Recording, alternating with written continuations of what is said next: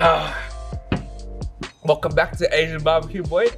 So today's episode, we'll be cooking two beef short ribs.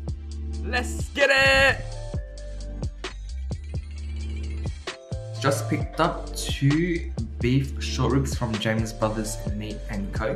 So what we want to do first is pat it dry, and when once we pat it dry, take out the fat layer and the membrane.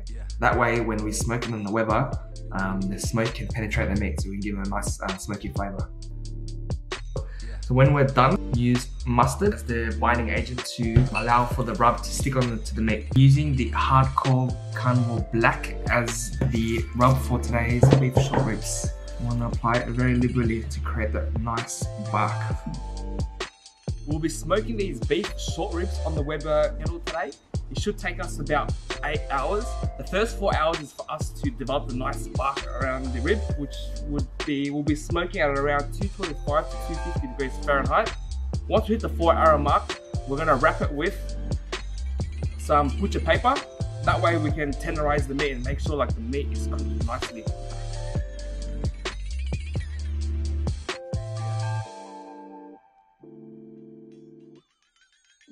So at the four hour mark, we have three options. We can wrap the meat, we can foil or with butcher paper, or we can leave the meat naked. In order to get a nice smoky flavor for the beef short ribs, we've been using two pieces of hickory wood.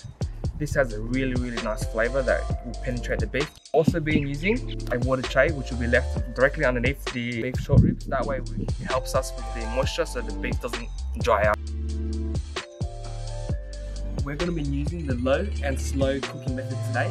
The optimal temperature in order to smoke these ribs would be at around 225 Fahrenheit, degrees Fahrenheit to 250. That way we don't dry out the meat and ensure that the meat is nice and moist at the end of the cook. Alright, now it's hitting about 225 and we're ready to put the ribs in. When putting the lid back on, we want the vent to be directly on top of the ribs so that the smoke can go over towards the ribs and we can ensure that the smoke penetrates the ribs. Yeah. Today's game plan is to cook the beef ribs uncovered for 4 hours. By every hour leading up to the 4 hours, we make sure that we spritz the beef so the outside doesn't dry out. So this solution is 3 quarters apple juice and 1 quarter apple cider vinegar it going.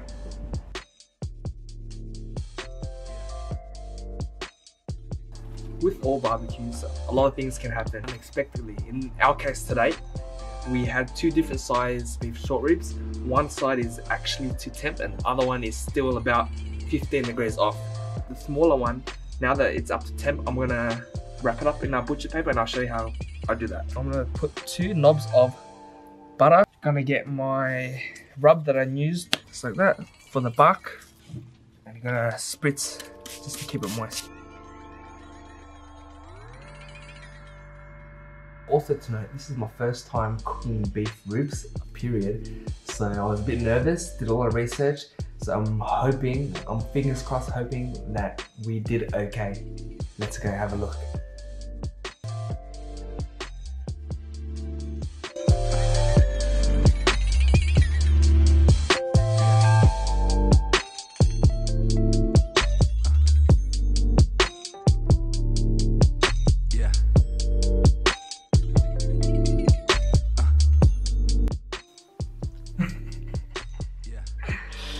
Very good.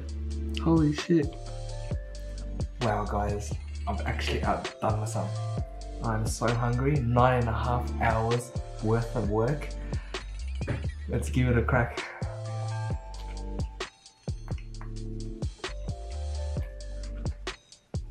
Mmm. Wow.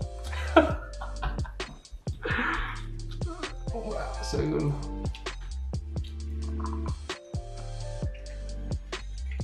Mm. Mm. Probably. Thank you for watching. If you enjoyed this barbecue, don't forget to like, comment, and most importantly, subscribe. Please put it in the comments below what you would like us to cook in our next video.